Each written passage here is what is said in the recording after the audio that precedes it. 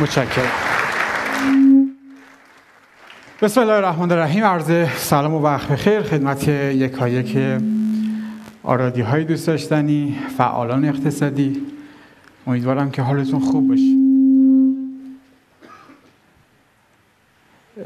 جمعیت خیلی زیاده. وقتتون رو نمی‌خوام زیاد بگم. یه 45 دقیقه در خدمت عزیزان خواهیم بود با بحث بیزینس پلن یا همون طرح کسب و کار موضوعی که خیلی از افراد درگیرش میشن برای شروع در زمینه تولید یا تجارت.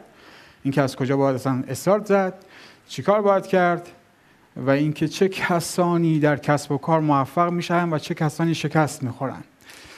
خب ما تو آراد بیش از 17 ساله داریم کار می‌کنیم و کسب و کارهای مختلفی رو دیدیم شاهد بودیم. افرادی که شکست خوردن افرادی که پیروز شدن و امشب می‌خوایم بررسی کنیم که چه کسانی واقعا موفق میشن و چه کسانی شکست می‌خورن. داستان شبیه همون معلمیه که اگر یادتون باشه سر کلاس ها میگفتش که فلان شاگرد تو یک فرد موفق میشی یا فلان شخص تو هیچی نمیشی. برای من همیشه این سوال بود که این معلم از کجا می‌دونه یه فرد در انتها چی میشه و چی نمیشه. وقتی به این موضوع فکر می‌کنیم به این نتیجه می‌رسیم که خب خیلی با تجربه است. یعنی انگار دیده افرادی که در گذشته شاگردش بودن و نتیجه این مدل رفتارها چی شده؟ و نتیجه افرادی که دارن کارهای درست رو پیش می‌برن اینکه واقعا اینا چی کار می‌کنن موفق میشن. دنیای اطلاعات امشب قرار هست. در اختیارتون بذارم. دنیای تجربه. که امیدوارم یک به یک همه رو یادداشت کنید و در بیزینس و کسب و کار خودتون بتونید از اونها بهره بگیرید و استفاده کنید. نکته اساسی داستان اینه کسی که می‌خواد یک کسب و کار راه بندازه کسی که می‌خواد وارد دنیای تجارت بشه یقینا برای شکست شروع نمی‌کنه. مثل این میمونه که دو نفر می‌خوان با همدیگه ازدواج کنن. یقینا اون روز اول که این برگر رو می‌ذارن جلو برای امضا کردن. یه سری تعهدهایی رو آقا باید به خانم بده انگار. ولی از بس ذوق داره تونتو اینا رو فقط میشینه امضا می‌کنه تا زندگی شکل بگیره و برای شکست و طلاق و جدایی نیومده. اما خب در زندگی ها شاید این داستان هستیم که خیلی ها طلاق می‌گیرن جدا میشن. می‌خوایم تو کسب و کار هم این موضوع رو بررسی کنیم. چه اتفاقی میافته؟ خیلی موفق میشن و خیلی شکست می‌خورن که من امیدوارم امروزی که همتون اینجا هستید بنا داشته باشید که پیروز بشید از تجربیات استفاده کنید. دنیای تاجر تو جمع ما هست که قدیمی هستن مثل همین خانم انتصاری که از سال 95 با آراد داره کار می‌کنه و دنیای تاجر دیگه که می‌تونید ازشون بهره بگیرید استفاده کنید سوال بپرسید. در آنتراگی که وجود داره بعد صحبت ما از ساعت 7 و 45 دقیقه تا ساعت 8 و نیم یا آنتراک خواهیم داد و با همدیگه هستیم. مدیر هم در کنار شما. تا انشالله هر سوالی دارید هر نکته ای هست بتونید مطرح کنید و پاسخ خودتون رو دریافت کنید. بریم به سلاید اول. متشکرم. طرح کسب و کار اصلا برای چیه؟ چرا یه فردی قبل از اینکه بخواد یه کاری رو شروع کنه باید طرح داشته باشه؟ دنبال چی میگرده؟ برنامهش چیه؟ هدفش چیه؟ اینها مهمترین نکاتیه که اگر قبلش توجه نکنی همون شکستی که ازش صحبت می‌کنم برای شما رقم می‌خوره. اولین موضوع اینه یک چی کار قراره انجام بدم؟ چی کار می‌کنم؟ اینو باید کامل مشخص کنیم من می‌خوام یه کسب و کار را بندازم می‌خوام وارد عرصه تجارت بشم. یه سوالی رو من مخاطب قرار از شما بپرسم. خب کارتون چیه؟ چی کار شما انجام می‌دید؟ اینو باید بتونی خیلی کامل و جامع تعریف کنی توضیح بدی.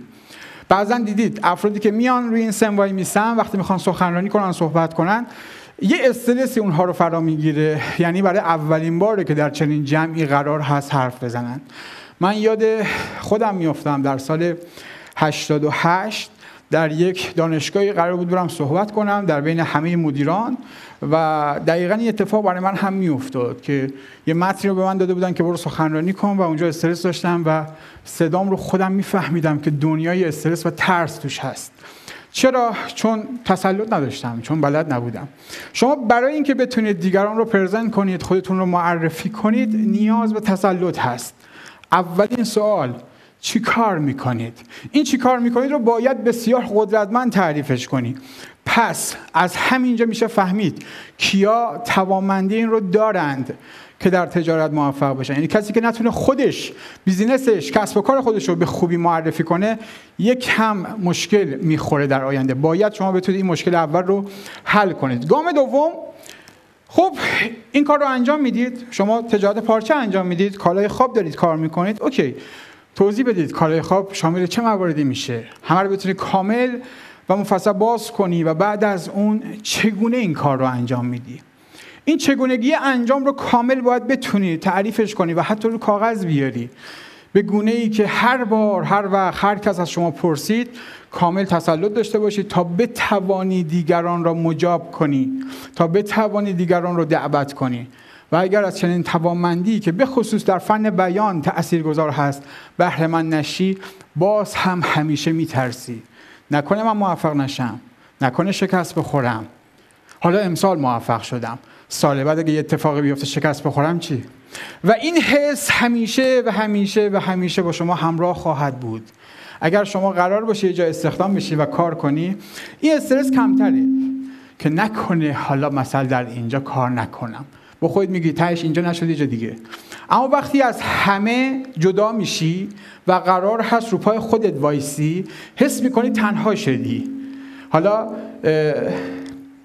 ایشون که داشت صحبت می‌کرد آقای خسروانی گفت یه بنده خدایی. فکر کنم هممون فهمیدیم اون بنده خدایی کی بودن. کسی از نفهمیده باشه؟ کیا فهمیدن؟ دست بلند کنن. کی بود؟ پدرش بود. خودش در جنب اون خانمش همه چیز رو رو کرد برای ما. پدرش مخالف بود. برای چی می‌خوای این کار رو انجام بدی؟ ولش کن. پول رو پس بده. چقدر مگه سود داشت؟ سودش رو من میدم. خب باشه یه بار داد. دید سری دوم. اه این سودم بعد من بدم؟ نه ولش کن. خودت کار کن. پایت هم هستم. کار کن. پس خوب دقت کنید. زمان شروع سختترین زمانه. یعنی تا بخوای شما استارت بزنی همه می‌خوان با شما مخالفت کنن. چرا؟ این کار رو نکن. اگه شکست بخوری. و این ترس هاست که با شما همراه میاد جلو و زمانی که تنها میشید خودتون به خودتون آسیب می‌زنید. برای همین من بارها دارم تاکید می‌کنم. از این جمعی که اینجا هستید رفیق هم نوع خودتون رو پیدا کنید. کسانی که روز اول مثل شما بودن کسانی که ترس داشتن اینها رو پیدا کنید تا ببینید مسیر موفقیت براتون آسون میشه. از تجربه دیگران حتما و حتما استفاده کنید. اما نکته سوم خب من باید همه اینا رو بیارم رو کاغذ. می‌خوام در کسب و کارم موفق بشم. خب چه محصولاتی رو می‌خوام ارائه کنم و به چه کسانی؟ جامعه هدف من کیه؟ اگر قرار کالای خواب بفروشم مخاطب من کیه؟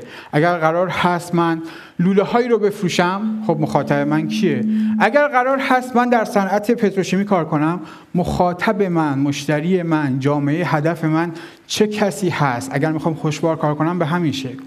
خیلی از شماها در محصولی کار می‌کنید که بعضا به این موضوع اصلا توجه ندارید که مخاطب و مشتری شما و جامعه هدف شما رو کدوم گروه ها شامل میشه. چرا من به این موضوع نیاز دارم؟ چون من وقتی بدونم جامعه هدفم کیه دقیقا می‌تونم یک استراتژی یک business plan بنویسم برای همون گروه. تا بتونم دقیقا اون گروه رو جذب کنم. وقتی هیچ اطلاعاتی ندارم کاملا گیج هستم کاملا آشفته هستم و این ترس هاست که همیشه سراغ من میاد.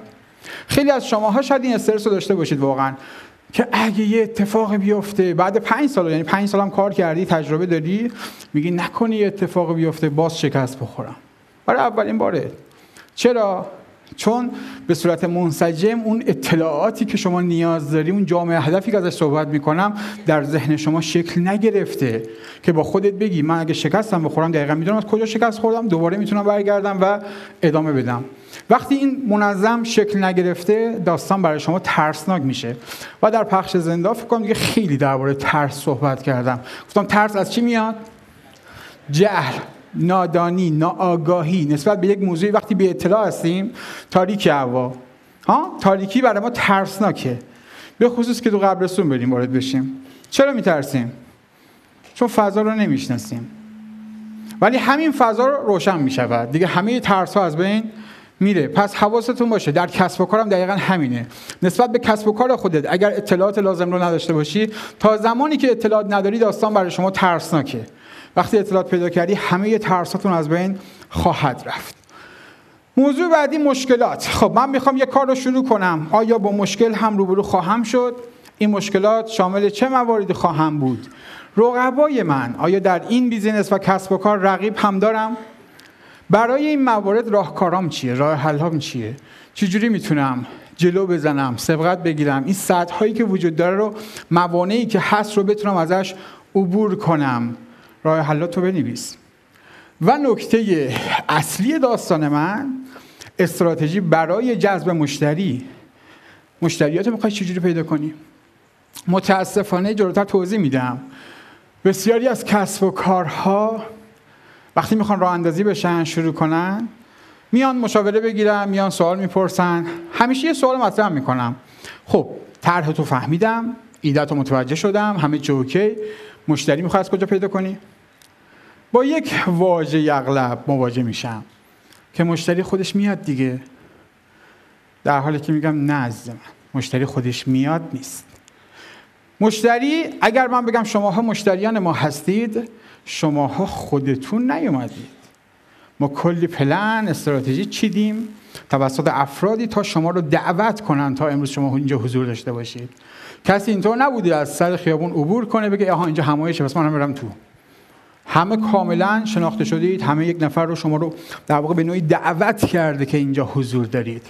حالا شما هم باید متناسب با مشتری های خودتون دقیقا بررسی کنید. مشتریان شما کیا هستند کجا هستند و چگونه می‌توانم این گروه رو جذب کنم تا حاضر شوم با من کار کنن. اگر این استراتژی رو به درستی رعایت نکنید اون شکستی که دارم میگم برای شما رقم می‌خوره. شکست یه چیز عجیب غریب نیست. یه ساختمون رو یه برج رو در نظر بگیرید. برای ساخته شدن ماها سالها شاید زمان نیاز داشته باشه. اما تخریبش. شما تو همین کلیپ های اخیری که در, فلس... در فلسطین می‌بینید که اتفاق افتاد با یه بمبه با یه موشکه به لحظه برج تخریب می‌شود.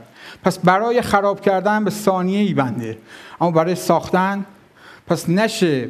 یه business یه کسب و کاری رو می‌خوای بسازی و موانع اون رو شناسایی نکنی که چه اتفاقهایی احتمال داره بیفته تا کسب و کار من نابود بشه. همه عوامل موفقیت شما برمیگرده به مشتری های شما. اگر استراتژی درست نداشته باشید برای جذب مشتری یقین بدونید که شکست می‌خورید. و نکته انتهایی داستان استراتژی بر سر قیمت گذاریه وقتی رقیب وجود داره دعوا میشه سر قیمت. تو یه قیمتی اعلام می‌کنی و رقبای شما هم شروع می‌کنن به ارائه قیمت. من هم یه قیمتی دارم. چه کسی پیروز است؟ این نکته بسیار مهمی چه کسی می‌تواند مشتری را جذب کند؟ نکته اول اینه که بفهمی مشتری تنها با شما ارتباط نمی‌گیره. مشتری که با شما ارتباط گرفته بنای خرید داره. اما الزامان از من نمی‌خره. چرا؟ چون بلافاصله بعد از اینکه با من ارتباط گرفت با نفرات دیگر هم ارتباط می‌گیرد. حالا سوال اینه با پنج نفر ارتباط گرفت؟ چه کسی از ما پنج نفر می‌توانیم به این مشتری بفروشیم؟ از این زاویه نگاه کن. نه اینکه مشتری از چه کسی می‌خرد. داستان برعکس شد. من باید یک بیزینسی که دارم برای خودم رو نگاه کنم حواسم باشه. چگونه من می‌توانم این مشتری را جذب کنم؟ مجذوب من شود؟ عاشق من شود؟ آیا برای این همراه کاری داری؟ یا نه؟ بازم بر این اعتقادی که خدا بزرگه. خدا بخواد به من می‌رسه. ما نگفتیم خدا نمی‌خواد خدا کوچیکه. ما هم اعتقاد داریم خدا بزرگه. اما خدا کارهاشو با حکمت انجام میده. نه اینکه تو هیچ پلنی نداری هیچ برنامه‌ای نداری هیچ نقشه‌ای نداری و خدا همینطور بی حکمت الکی بخواد چی؟ برسونه به تو. دستتو می‌ذاری تو پریز برق بعد میگه خدا بزرگه بخواد برق نگیره نمی‌گیره. بعد یه حرکت بی عقلی که انجام میده خدا میگه آها عمدن بگیره تا بفهمه که من به تو عقلی دادم. پس این نگاه که خدا بزرگ است و من هیچ کاری نکنم. من تنبل باشم چون خدا بزرگ است. نه خدا میگه تو تلاش کن. منم هستم پشت. پس این داستان رو علکی نخواهید با حرفهای خودتون رو فریب بدید و اون مسئولیت و کاری که برای خودتون وجود داره و باید بچینید رو نادیده بگیریم. بریم اسلاید بعدی. یه سوال رو من همیشه از خودم می‌پرسم از شما می‌پرسم از مسئولی هم می‌پرسم. چند درصد کسب و کارهایی که امروز شکل می‌گیره. در گذشته شکل گرفت. و کوچیکن. کسب و کارهای بزرگ رو صحبت نمی کنم کسب و کارهایی که وام های میلیاردی می‌گیرن و اصلا من بحثم نیست. کسب و کارهایی که می‌خوان با بودجه خودشون با تهش یه میلیارد دو میلیارد بخوان اصال بزنن و کار کنن چند درصدش در کشور ما موفق میشن؟ آماری دارید؟ تو پنج سال. پنج سال بهش فرصت میدیم برای موفقیت. چند درصد کسب و کارهایی که شکل می‌گیرن موفق میشن؟ عدد بهم بگید. چند چیزی که خود دولت داره اعلام می‌کنه بیش از 90 درصد کسب و کارها در پنج سال اول شکست می‌خورن. یعنی هر صد تا کسب و کاری که اتفاق میفته چند تا شکست می‌خوره؟ 90 تاش. حالا سوال چرا شکست می‌خورن؟ بریم اسلاید بعدی. یه سری دلایل بیان شده. یه سری شما تو آراد اعتقاد داریم واقعا هست. اما یکم هوشمندانه تر امشب می‌خوام باشون صحبت کنم. اینکه خب باشه همه اینها هست. آیا اگر کسی یه چیزی فراتر از اینها رو داشته باشه احتمال داره که پیروز بشه؟ یک نبود سرمایه کافی. در بسیاری از business ها به علت اینکه نمی‌توانند سرمایه اون بودجه رو تأمین کنن اون مجموعه شکست می‌خوره. چرا؟ چون آقای خانم انتصاری میاد؟ آقای خسروانی میاد؟ میگم من هشتا نیرو دارم. پنج تا حضوری در دفترم. باید بیمه کنم حقوقش باید به موقع بدم و سه نفر که حالا دورکارم پورسان می‌گیرن و امثال اینها. من حساب کتاب باید بکنم. در این کسب و کاری که راه اندازی کردم آیا می توانم از پس مخارج در بر بیام؟ یه هزینه داره هزینه دفترم. هزینه تأمین مواد اولیه هزینه تولیدش رو نیاز دارم هزینه نیروهامو نیاز دارم هزینه marketing برندسازیش رو نیاز دارم. همه اینها فعلا بودجه و پولیه که خرج شده. هنوز چیزی به دست نیومده. چه کنم؟ این چیزی که خرج کردم مایی مثلا 100 میلیون 200 میلیون 500 میلیون خرج می‌کنم. چیکار کنم؟ 500 میلیون برگرده. تازه مساوی شدم. باید یه چیزی فراتر از چیزی که خرج کردم برگرده. تا اینجا میشه تازه سود. خب استراتژی چیه؟ حالا با این حرف ها آیا هر کسی جرأت شروع کردن یک بیزینس رو داره یا میگه ولش کن؟ هستیم یه کار کارمندی هست. مای 10 تومن 20 تومن 30 تومن 50 تومن. حالا خدا بزرگه مسئولین هم انشالله یه کاری بکنن که قیمت ها افزایش پیدا نکنه ما بتونیم زندگی کنیم. در حالی که شما هم وایستادید ما هم وایستادیم و دیدیم که نه کسی نمی‌تونه جلوی قیمت ها رو بگیره. هر کس باید خودش به فکر بیفته. و شعار سال هم اگر دقت کرده باشید همینه. بحث اینه که آقا مردم باید دست به کار بشن. دنبال این نبوش که مسئول حالا قیمت رو بیاره پایین دلار بیاد پایین و امثال اینها. خب اومد الحمدلله. نیومد من چرا باید ضرر کنم؟ من باید برای زندگی خودم برنامه داشته باشم. من باید به توانم موفق بشم راهکار به دید اجرا می‌کنم. بحث همش سر اینه که آقا راهکار چیه؟ پس یک سرمایه.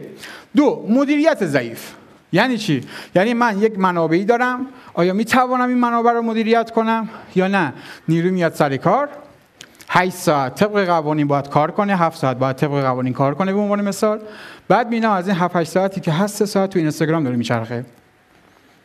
نیرویی که باید در بیرون بار رو توزیع کنه. می‌بینم در time اداریش در time کاریش که باید سر کارش باشه حالا با اون ماشینی که داره رانندگی می‌کنه در حین رانندگی خانم بچه‌هاش هم زنگ می‌زنن آقا دو ساعت بریم اونجا مهمان اومده پذیرایی و سرویس و بعد هر وقت فرصت کردم ادامه کار. شما باید حواستون به همه اینها باشه. و الا همه اینها میشه هزینه. و اگر به مدلی مدیریت کنید که این هزینه برنگرده میشه ضرر.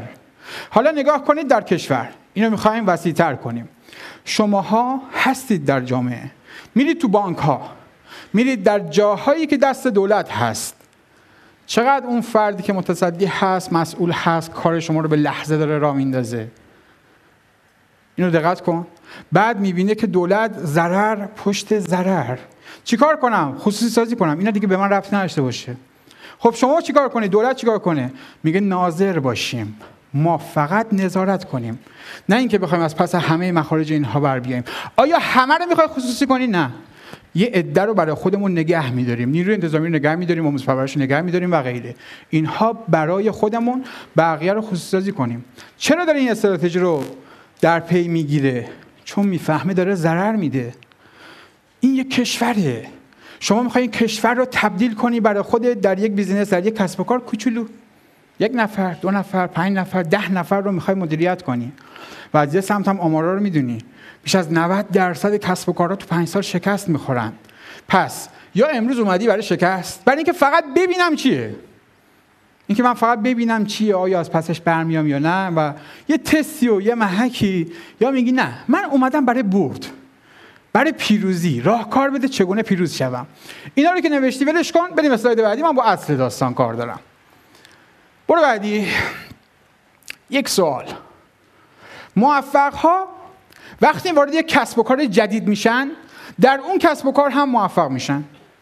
اغلب اینجوریه یعنی چی؟ یعنی مثلا حالا نمی‌دونم اسم ببرم نبرم یادم یه زمانی یه شرکتی حالا با بحث میهم وبلاگ در کشور ما داشت فعالیت می‌کرد. که سرویس های وبلاگ دهی داشت ارائه می‌داد. و در این سرویس ها به نسبت که رقیبش بلاکفا بود رقابت می‌کرد و موفق هم بود. بعد از اون سیستم یک سیستم جدیدی رو اندازه می‌کنه به نام آپارات. در اون هم موفق عمل می‌کنه. بعد از آپارات امروز چیزی که اکثر مردم باید سر کار دارن چیه؟ فیلیمو. در این business هم موفق. سوال چرا یک business وقتی مدل های کسب و کار بعدی رو تعریف می‌کنه تو اونها هم اغلب موفقه. چرا یه فردی که ناموفقه دست به هر کاری می‌زنه هر شغلی که انتخاب می‌کنه اونجا هم باز می‌بینه چیزی نشد؟ پس من انسان ها رو انگار به دو مدل می‌خوام تقسیم بندی کنم. انسان هایی که دست به هر چیزی می‌زنن می دست به خاک زدیم طلا شد و انسان هایی که دست به طلا می‌زنن خاک میشه. چرا؟ اینا دارن چیکار می‌کنن در مدیریت؟ که اینها هر کاری می‌کنن موفق میشن از هیچ یه پلن برای خودشون می‌سازن یه کسب و کار می‌سازن و موفقتر درآمدهای بهتر زندگی های بهتر و گروهی نه هر کاری اینا بکنن هر کاری دست بزنن چیز خاصی از توش در نمیاد. دلیلش چیه؟ موفقا چی دارن که اونها ندارن؟ کجای کارگیره؟ کی می‌دونه اینو؟ دست بلند کن یه میکروفون اگر داشته باشین سالن خوبه. نمی‌بینم دست بلند کنید یکی بفرمایید. خب چی کار می‌کنن در مدیریت؟ یعنی مدیریت یعنی چی؟ یعنی اگر بخوایم مدیریت رو تعریف کنیم مدیریت یعنی چی؟ چی کار می‌کنه این؟ که در هر کسب و کار جدیدم وارد میشه اونجا موفق میشه. چی یاد گرفته؟ نیاز بازار رو می‌فهمه. من و شما هم می‌فهمیم. مردم امروز در بازار نیاز دارن. مثلا چی؟ یه تاکسی تلفنی یه آژانس تلفنی مثل اسنپ. اما شرکت های دیگه اومدن شروع کردن به زدن و همشون شکست خوردن. پس نیاز رو همه می‌دونیم چیه. اما چرا خیلی ها وارد میشن شکست می‌خورن؟ یکی دو تا سه تا کمتر از ده تا هستن که موفق میشن. تخصص و مهارت. موضوعیه که خیلی ها میگید آقا چون متخصصن. در کشور ما کشوری که تخصص توش زیاده. یعنی دانشگاه ما یکی از بیشترین حجم دانشگاه ها رو در دنیا داریم. یعنی انقدر متقاضی نداریم که دانشجو داریم. و نکته جالب اینه که تخصص داریم اما باز توش این اقتصاد ما یه جاش میلنگه. یعنی من بارها به این موضوع فکر می‌کنم. عراق یه کشور جنگ زده است. یعنی شهرداری خاصی نداره نیروی انتظامی خاصی نداره هیئت های تجاری خاصی ندارد ولی ارزش پولش از کشور ما که دنیای جلسه اقتصادی می‌ذاریم بیشتر است.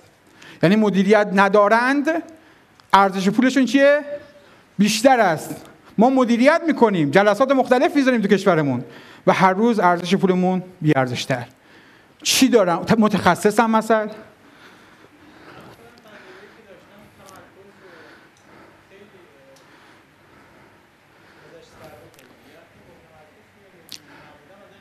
تمرکز درسته اما همه چیز نیست. یعنی چه اتفاقی میافته که من باید تمرکزم اون سر جاش بیاد تا بتونم اون کار رو انجام بدم؟ همه اینها ناکا چیزهاییه؟ تلاش پشتکار صبر همه اینها هست. نمیگم نیست.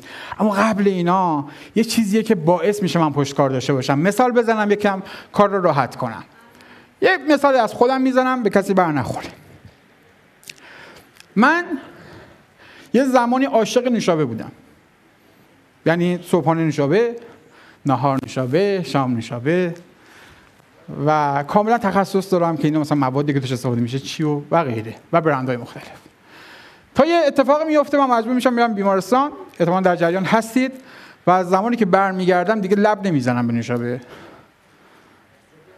خوب دقت کنید. و هنوز هنوز لب نزدم و تصمیم گرفتم که واقعا نخورم.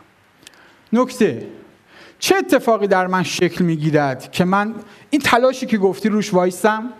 این صبری که لازم هست رو روش وایستم چه اتفاقی باید رقم بخورد که من تصمیم بگیرم که این کار رو انجام بدهم؟ باور. همه چی از این شروع میشه. اگر باور داشته باشم واقعا که نوشابه می‌تونه من رو نابود کنه رها می‌کنم. هممون اگر از ما بپرسن که نوشابه خوبی یا بد یه زمانی از خود من میپرسیدن دیگه. می‌گفتم بد. می‌گفت چرا می‌خوری؟ خب می‌خوریم هیچی نمیشه. چرا نخورم؟ خوشمزه است واقعا. اما باور در من تغییر ایجاد می‌کنه که من یه چیز رو کامل رها کنم. در بسیاری از کسب و کارها برای اینکه شما موفق باشید تمرکزی که گفتید لازمه تلاشی که گفتید لازمه صبر که گفتید لازمه تخصص لازمه. اما همه اینا اوکی. چرا طرف ادامه نمیده؟ چرا تا یه جایی میاد بعد رها می‌کنه؟ دلیلش چی بوده؟ باور.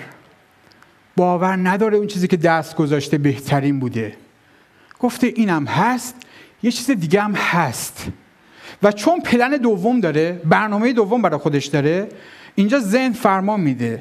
هر چیزی که سخت باشه سختی رو ولش کن آسانی رو بچسب. اصلا ذات این جهانینه یعنی نه در من شما انسان. شما نگاه کنید در حیوانات به همین شکل در همه مخلوقات به همین شکل در مدارهای منطقی هم نگاه کنید به همین شکل. یه جایی که مقاومت زیاد باشه جریان اینجا عبور نمی‌کنه اگر یه جای دیگه بین مقاومتش کمتره. شما نگاه کن یه آبی که از یه کوهی داره سرازیر میشه. یه مانع سخت هست یه شیب سخت هست یه شیب نرم هم هست. از کجا می‌خواد عبور کنه؟ از جایی که مانع داره میگه ولش کن آقا مانع کی حوصله عبور کنه؟ این مسیر بغلیش را باز شده از اینجا میریم. نکته خیلی مهمیه در business. پس همه اینها اوکی. اما وقتی من باورم اینه که این چیزی که روش دست گذاشتم منو به اون چیزی که می‌خوام نمیرسونه با کوچکترین سختی رهاش می‌کنم. میگم نمی‌خوام. چون یه پلن دوم دارم. عزیز من با خود یه چیزو بگو. بگو به این گفتی نمی‌خوام. آیا اون پلن دوم تو رو به موفقیت میرسونه؟ تو در گذشتن پلن های سوم چهارمی برای خود چیده بودی. چرا اونها نتونستن کاری برات بکنن؟ اگر به این نتیجه رسیدی که تجارت برترین شغله روش بمون وایسا تلاش کن هایی برات اتفاق میفته بذار عبور کنی. تا تو هم ماشین خوب تو بخری تا تو هم خونه خوب تو بخری تا تو هم طعم زیبای زندگی رو بچشی. بعد اونجا به حرفای ما می‌رسی که آقا اینا راست می‌گفتن. ما بودیم که یه جاهایی فکر کردیم همینجوری پول از آسمون باید بیاد ما فقط برداشت کنیم. نه اینجوری نیست. اگر بود ما خودمون زودتر همین کار رو انجام میدیم نیاز بود شبانه روز تلاش کنیم. پس موفق ها تجربه دارن و تجربیات بر اساس باورهاشونه. چون باور دارن پول اونجاست. و چون باور دارن روش وای میستن تلاش می‌کنن صبر می‌کنن و به نتیجه می‌رسن. و نکته مهم میشه باور. حالا هر کدومتون مشاغلی می‌شناسید. چند روز پیش یکی داشت یکی از مشاورها با یک نفری صحبت می‌کرد. من جلوش بودم. برگشت گفت که آی فلانی به نظر شما پول کجاست؟ گفت پول توی ترید و کارهای ارزهای دیجیتال و اینهاست. پرسید که الان به نظر تو پولدارترین آدم های کشور این شغل رو دارن؟ گفت بله خود من یکی از اونام. من اونجا داشتم مکالمه رو گوش می‌دادم پیشش بودم. گفتم ازش بپرس که درآمد تو بیشتر یه کارخونه داره گفت مسلمه یه کارخونه داره گفتم بگو که پس چرا میگی ترید؟ گفت خب بعد چیکار کنم؟ گفت آها حالا درست شد. پس اول بفهم یه بوتهایی برای خودت ساختی که میگه اون بوتها بهترینه. اول باید بوتها شکسته بشه. بوتهای زندگیتون بوتهایی که تو ذهنتون هست که این کار رو اگر بکنم موفق میشم. بوتها و اون باورهای غلط شماست. اینو اگر نابود کنی حالا باید بگی چیکار کنم؟ حالا راهش چیه؟ تا زمانی که این بوتها تو ذهن شما هست پلن های دوم سوم دهم رو دارید. موفقیت واقعا غیر ممکنه. برو بعدی. ایران کشور واقعا بکر و عالی و خوبیه. آقا این حرفا رو ما زیاد شنیدیم. شاید تو ذهنتون بیاد. واقعا میگم. برید چهار تا کشور و بعد ببینید با درآمدهایی که یک ایرانی داره در دنیا زندگیش چجوری می‌تونه به چرخه. می‌فهمی که ما انگار فقیرترین هستیم در دنیا. یعنی ما خارجی, خارجی که نداریم تو جامعه خارجی ها رو میاریم تو کشورمون لامصب پولشون میارزه. پولاشون انقدر ارزشمنده طرف با دمپایی شاید بیاد اما اینجا قشنگ بهترین هتل ها می‌تونه بگیره همه کار می‌تونه بکنه. چرا؟ پول.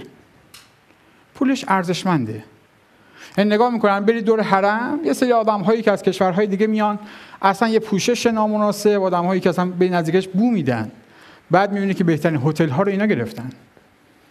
من چند شب پیش هم آقای رونالدو که اومده بود قبلش هتل بودم تو تهران داشتم نگاه می‌کردم چرا انقدر خارجی تو این هتله؟ چرا ایرانی ها نمی‌تونن از این هتل استفاده کنن؟ هر چی می‌بینی خارجی. چرا آقا؟ چرا باید بهترین ها تو کشور خودمون برای اینا باشه؟ چون پولشون میارزه. حالا نشستم به اون داستان فکر کردم که اینها دارن چیکار می‌کنن که پول دارن و می‌توانن بیان. اینم همشون زمانی که تو لابی هستن درباره تجارت دارن صحبت می‌کنن. این قشنگ هر کس مترجم داشت برای خودش. آقا سنگو از کجا بریم تامین کنیم؟ داشتن قشنگ با هم دیگه گفتگو می‌کردن. فلان محصول از کجا بگیریم؟ تو وقتی بزرگها رو می‌بینی باورهات عوض میشه. اگر در جمع کوچولوها باشی به قول اون فیلم مغزهای کوچک زنگ زده واقعا شبیه اونا میشی. اگر تو خانواده باشی که همه اعضای خانواده اعتیاد دارن همشون زندانی هن، همشون مشکل دارن سخته من بتونم خودم رو از اینها جدا کنم. من هم میشم یکی شبیه اینا. برای همین تاکید می‌کنم عزیزان اینجا بهترین فرصته. اینجا دوستای خوبتو پیدا کن. دوستای خوبی تو وقتی داشته باشی اینها به شما امید میدن انگیزه میدن. اون احساس ناامنی که برای خودت می‌خوای بسازی تو خلوت های خودت این نمی‌ذاره. میگن منم اتفاقا این حس اومد به سراغ من. اما نه فهمیدم داستان متفاوته. این نکته بسیار مهم. تامین نیروی انسانی ارزون. یعنی سیاستی که به جان خودم کشورمون داره حالا ما رو نبرن عالیه.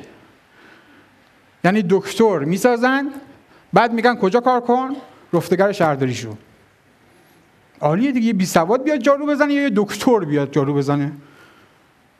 یعنی هزینه آموزش خوب ارزون.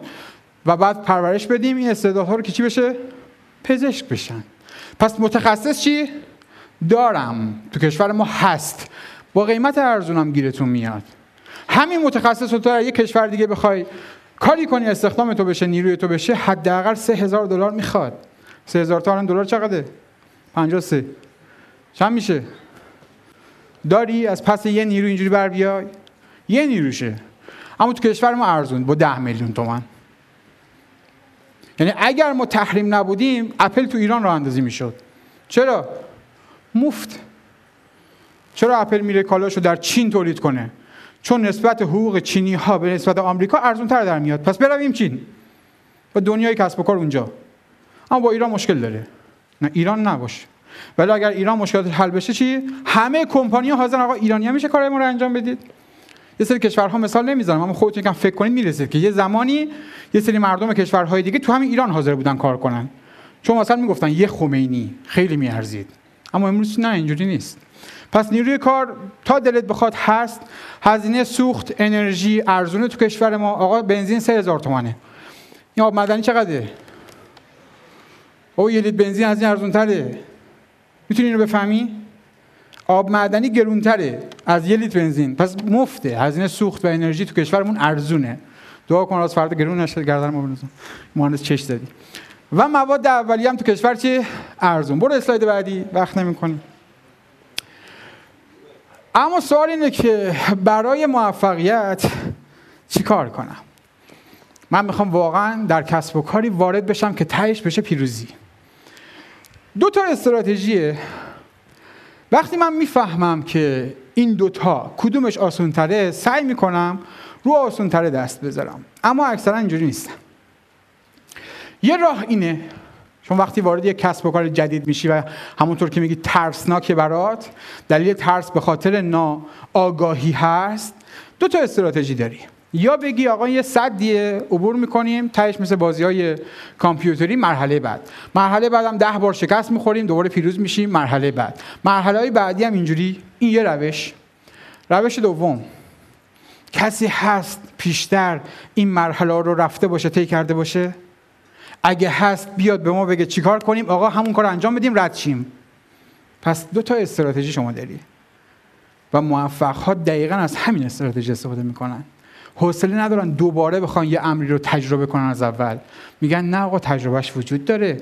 همون رو دقیقا ما استفاده کنیم. پس نکته رو خوب حواس جمع باشه. یه راه این بود که من خودم همه این موانع رو عبور کنم و چون انسان پرتلاشی هم نیستم انسان صبوری هم نیستم یقینا تو یکی از موانع گیر می‌کنم بی خیال برگردیم. این یه راه. راه دوم چیه؟ آقا کی مسیر رو رفته؟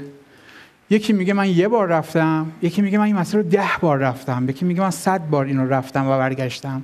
یکی میگه نه تنها من خودم رفتم و برگشتم به افراد دیگه هم معرفی کردم که عزیز بیا فلان فلان فلان فلان این 50 نفر این صد نفر به اینها هم گفتم همین مسیر رو برید و رفتم و موفق شدم. نکته اینه آیا هر کس مسیر درست رو بره موفق میشه؟ اینو می‌خوام جواب بدی. مسیر درست. یعنی چی مسیر درست؟ یعنی از قم می‌خوایم بریم تهران. تابلو فلش زده جاده این سمتی است آیا هر کس تو این جاده بیفته به مقصد می‌رسد؟ ها؟ همه رسیدن. کسی نبود آقا بگه برگردیم. همه هم می‌خواستن به تهران برن ها. اما یه اتفاقهایی میفته که به مقصد نمی‌رسن. مثال. داری حرکت می‌کنی یکی زنگ می‌زنه آقا مهمان رسید برگردید بعدم برید. ماشین خراب میشه تصادف می‌کنی. هر اتفاقی میافته. اما سوال اینه تا انتهاش برم می‌رسم؟ میگی صد درصد. حالا نکته اساسی با چه ابزاری برم؟ با دوچرخه چی؟ می‌رسم؟ با اسکیت برم؟ پیاده برم؟ همش می‌رسی. تحمل داری؟ صبر داری؟ این نکته مهمه. خیلی وقتا همینجا تو کربلا خیلی پیاده رفتم و سر رو برگشتم.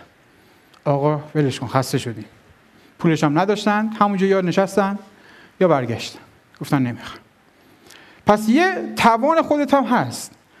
بیا بسنج. آیا تو با این توان می‌رسی؟ چرا با خودت میگه همه می‌رسن؟ نه از من خیلی نمی‌رسن. یکی ازش پرسیده بودم گفتم یه سوپرمارکت داشت. گفتم هر کس میاد تو مغازه تو از تو می‌خره. گفت تقریبا بله. گفتم کیا نمی‌خرن؟ یکم نشست فکر کرد گفت همه می‌خرن. چیزی نیست که کسی نخره. گفتم نداشتی یه کسی مثلا بیاد تو مغازت بگه آقا اینو اسکناس مثلا برای من تبدیلش کن به پول خورد. گفت چرا؟ گفتم مثلا این چیزی نخرید؟ نداشتی یه نفر بیاد بگه آقا سرویس پیداشتی کجاست؟ گفت چرا؟ گفتم پس اینو نخرید. نداشتی که خواست فقط دست بشوره. گفت چرا؟ گفتم نداشتی کسی بیاد از آدرس بگیده آقا آدرس فلان منطقه کجاست؟ گفت چرا تا دلت بخوای نام است. پس اینها همه مخاطب هاش هستند. اما یه وقتی خدا نکنه تو روز نشستی یک کسب و کار راه اندازی کردی پنج تا اولی که سراغت میاد هر پنج تا آدرس بگیرن. با خود چی میگی؟ ولش کن ما اومدیم اینجا این همه خرج کردیم اینو به آدرس بدیم. کرکر می‌کشی پایین میگی جواب نداد. سوال مسیر جواب می‌داد. دیگران در همین جایی که تو هستی قرار گرفتن نتیجه گرفتن. اگر بله پس صبور باش. پس تلاش کن. اما میگی نه. هر کس این کارو کردیم اونا هم جواب نگرفتن. پس دور باطلیه. این طرح این ایده جواب نمی‌دهد. برو بعدی یه نکته پایانی بگم و دیگه خسته شدید. یه برنامه تجاری می‌خوام بدم بهتون. اینو اجرا کنید. تا ببینید که در کسب و کار موفق میشید. تا نشه بعد پنج سال شکست بخورید. برنامه تجاری به چهار بخش برای شما تقسیم بندی میشه. دو تاش ثابت. یعنی یه بار که ایجادش می‌کنی بسه.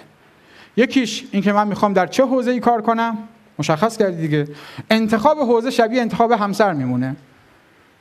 دیگه می‌خوای ازدواج کنی؟ یه بار دیگه فکر می‌کنی آقا آیا با این فرد ازدواج کنم؟ نکنم. دیگه ازدواج کردی بازم فکر می‌کنی؟ دیگه انتخاب شد دیگه اوکی تمام. بریم مرحله دوم. زیر ساختایی لازم داره. می‌خوام کیس من اینه. حالا زیر ساختاش خونه می‌خوام ماشین می‌خوام فلان می‌خوام فلان می‌خوام. این زیر ساختایی که برای اینکه بتونم چی؟ از پس این کار بر بیام. در تجارت هم دقیقا همینه. زیر ساختاشو نداشته باشی چی میشه؟ طلاق. میشه جدایی. حواست به این داستان باش دوتا رو که ایجادش کردی که هر روز از تو یه خونه نمی‌خواد طرف. دوتاش که ایجاد شد حالا باید چیکار کنی؟ گاز بدیم بریم. حرکت آینده کار داریم. زندگی تازه استارت خورده. در بیزینس دقیقا همین اتفاق میفته دو تا موضوع رو حواستون خیلی باشه. اونایی که تا یه جایی رشد می‌کنن از اینجا یا ثابت میمونن یا شکست می‌خورن دقیقا گیرشون همین قسمته. دیگه به مشتری جدید فکر نمی‌کنن. میگن آقا 50 تا مشتری داریم 100 تا داریم صادراتی داخلی بسه. ما با همین ها میریم جلو. سوال الگوتون در موفقیت کیه؟ میگه آقا شرکت اپل شرکت فلان. سوال اپل رو تا از نزدیک دیدی که الگوی موفقیتت شده؟ در همایشاش بودی؟ بیزینسش رو برات اومده باز کرده توضیح داده؟ تو چجوری یه الگوی انتخاب می‌کنی که نمی... اون فرد حتی به تو اجازه نمیده که بشناسیش؟ یه الگوی واقعی انتخاب کن. من اگه باشم آراد انتخاب می‌کنم. چون چیزی که بهش دسترسی دارم.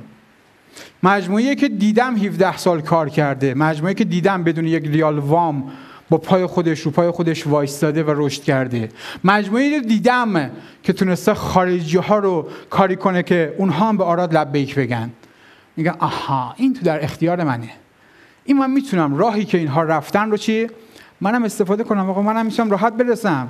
نیازی 17 سال از اول بخوام این مسیر رو بدم. پس جذب مشتری جدید جز ساختارهای تجاریتون باشه که تمومی نداره. آقا امروز 10 تا مشتری داشتم. نگو بسه. این باش بگی بسه این 10 تا یه روزی میمیرن ها. مرگ کسب و کار تو اتفاق میافته با مرگ مشتریات. حالا این مرگ یعنی چی آقا میمیرن؟ دور از جون 120 سال نه من منظورم اینا نیست. یه رقیبی پیدا میشه مخشو می‌زنه میگه بیا با من کار کن. مشتری تو مرد. این دیگه با تو کار نمی‌کنه. پس تو یه مشتری رو از دست دادی. مشتری تصمیم می‌گیره در یک محصول دیگه تجارت کنه. تا دیروز رو محصول تو کار می‌کرد از فردا تصمیم می‌گیره چی؟ برم روی محصول دیگه. پس مشتری تو مرد دیگه با تو هیچ حرف مشترکی نداره. ساختار تجاریتون در جذب مشتری رو لطفا چجوری باید بگم؟ جدی بگیرید. تموم نباید بشه. همیشه تا زمانی که کسب و کار شما زنده است چی؟ باید ساختار داشته باشی برای پیدا کردن و جذب مشتری جدید. دو مشتری هایی که جذب کردم چیکار کنم؟ یه تیم دیگه ای لازمه؟ گروه دیگه ای یا خودت؟ این مشتری هایی که یه بار ازشون پول گرفتی؟ جنس دادی فروختی. لطفا اینو رها نکن. چرا آقا؟ مگه شماره من نداره؟ ما ده بار با هم دیگه صحبت کردیم. خودش جنس بخواد میاد دوباره تقاضا می‌دهد. این یک باور کاملا غلط و اشتباست مشتری خیلی کم اتفاق میفته شاید بگم از 100 تا 5 تاش اگر تصمیم خرید داشته باشن دوباره برگردن سراغ شما. نیاز هست تو این ارتباط رو حفظ کنی. ارتباط چجوری حفظ کنم؟ روش های مختلفی داره. یه روش رو یاد میدم و جمع‌بندی و تمام. این واتساپ و شبکه های اجتماعی قابلیت جالبی دارن. وقتی شماره موبایل مشتری تو save کردی و مشتری هم بخوای که شماره تو save کنه تو status می‌ذاری می‌فهمی کیا دیدن. و status هر کدوم از مشتریاتو که دیدی یعنی چی؟ یعنی شماره تو save کرده. یه تکنیک ساده به یاد میدم. هر استاتوسی که گذاشت یه واکنش تو بهش نشون بده. آقا جنس نمی‌خواد بخره. اصلا این هر استاتوسی گذاشت کلیپ تنز گذاشت هر چی. یه واکنش یه ریپلای بزن. خیلی باحال بود. اگر کلیپ تنز بود. جالب بود. خوشم اومد. بذار ارتباط حفظ شه. اینجوری تو رو فراموش نمی‌کنه. به افتخار خودتون.